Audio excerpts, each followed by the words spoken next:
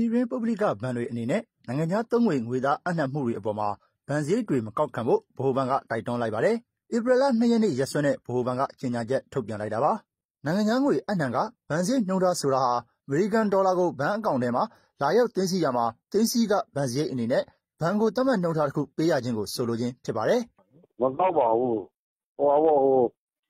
အခုက သူတို့က ပိုက်ဆံလာထည့်လို့ရှိရင် ဒေါ်လာအကောင့်ထဲမှာ ထည့်တဲ့အခါမှာ bank charges ပဲရှိတာ။သိမ်းဆည်းခနည်းနည်းလေးပါ။ပေါ့ပွိုင့်လောက်ပဲရှိပါတယ်။သိပ်မများပါဘူး။အလကားလုပ်ပေးရမှာပေါ့။ဝင်လာနိုင်တယ်။ဒီဥစ္စာကဝင်လာဖို့ဆိုတာ